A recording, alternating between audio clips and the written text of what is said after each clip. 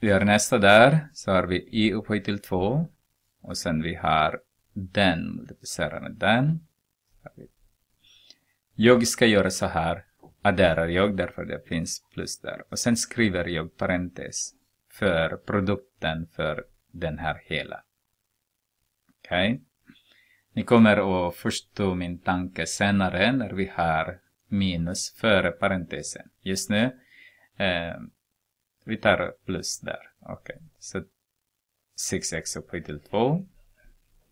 2x multiplicerat med 3x och sen det nästa då. Så har vi negativ 2xy. Och sen har vi positiv 3xy. Och sen negativ y upphöjt till 2. Så tar vi med 6x upphöjt till 2. Ta bort parentesen. Det är plus före så jag skriver om bara. Den här blir, den här 2 blir positiv xy minus y upphöjt till 2 minus 6x upphöjt till 2. Och den här blir 0.